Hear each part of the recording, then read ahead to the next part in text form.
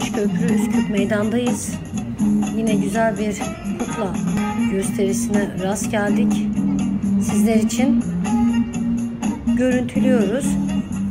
Buralar biliyorsunuz e, Balkan Ninlisi dizisinin e, en önemli çekim alanları. Sürekli Taşköprü gösteriyor.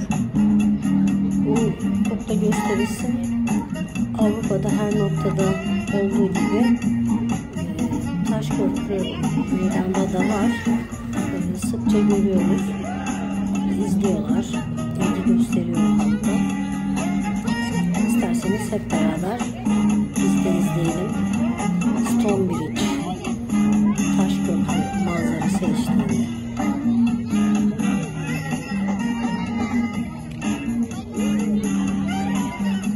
Hadi.